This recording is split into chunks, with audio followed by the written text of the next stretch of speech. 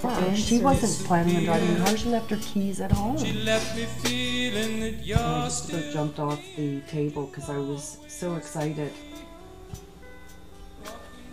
It's a lot different without the girls. That she'd been killed in a car accident. Just hope that, you know, she doesn't come crashing down. Had to take this time and just deal with it. And they said they couldn't get a driver for the ambulance. Timing was of the essence. Valentine's heart for Miss Melanie. I can still picture what she was wearing. I was playing with her. And they said that they can't talk. To try and make a difference.